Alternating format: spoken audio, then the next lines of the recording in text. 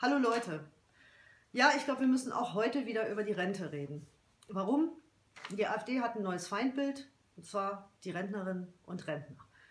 Wie sieht das jetzt aus? Am Sonntag hat die AfD-Vorsitzende Frauke Petri ein Interview in der Welt am Sonntag gegeben. Dort hat sie unter anderem Folgendes gesagt. Ich zitiere, an einer weiteren Verlängerung der Lebensarbeitszeit führt kein Weg vorbei. Außerdem werde man vermutlich über eine weitere Kürzung der Renten reden müssen. Dies sei brutal, aber unabdingbar.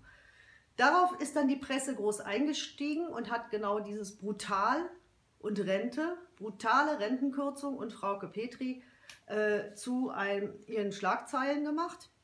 Und nun passiert, was immer passiert. Frau Petri war es nicht. Auf ihrer eigenen Facebook-Seite dementiert sie, dass die AfD Renten kürzen oder Arbeiter länger arbeiten lassen wolle ähm, und äh, äh, schreibt äh, da langatmig, dass sie ja nur gesagt hatte, wie es sowieso kommen müsse.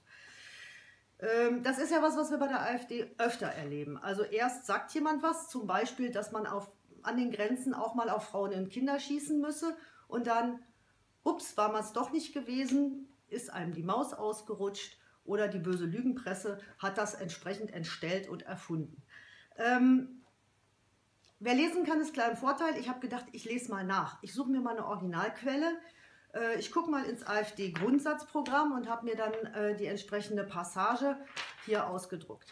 Natürlich äh, ist es auch interessant, worüber die AfD nicht schreibt. Aber äh, hier schreibt sie zum Beispiel auch, dass sie flexible Modelle einer sich parallel zum Anstieg der Lebenserwartung verlängernden Lebensarbeitszeit wünscht. Also genau das, was Frau Petri äh, im Weltinterview gesagt hat, dann aber nicht gesagt haben will, genau das steht hier im Grundsatzprogramm der AfD. Leute, ihr sollt länger arbeiten. Ja? Und das dann für wahrscheinlich weniger Geld hinterher, denn in einer anderen Stelle des Grundsatzprogramms wird auch noch ausgeführt, dass die Sozialabgaben sinken sollen. Und wenn die Sozialabgaben sinken, also zum Beispiel der Rentenbeitrag, dann bedeutet das, dass auf der anderen Seite weniger Geld da ist, um den Rentnerinnen und Rentnern eine wirklich lebenswürdige Rente zu bezahlen.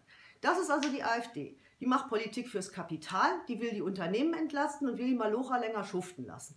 Aber dann wollen sie es wieder nicht gewesen sein, weil die Malocher sollen sie ja trotzdem wählen. Ich finde das schäbig. Und ich kann euch nur eins sagen, guckt genau hin, was drin ist. Äh, glaubt nicht alles, was oben drauf steht.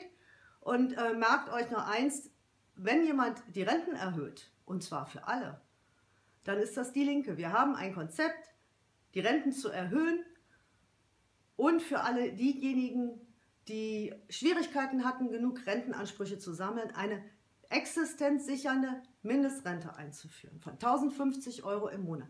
Die Linke sagt, niemand soll im Alter arm sein und Flaschen sammeln müssen. Niemand soll im Alter weniger haben als 1050 Euro im Monat. So, und jetzt entscheidet euch, jetzt könnt ihr euch überlegen, wem vertraut ihr? Der Petri, die es nicht gewesen ist, oder uns?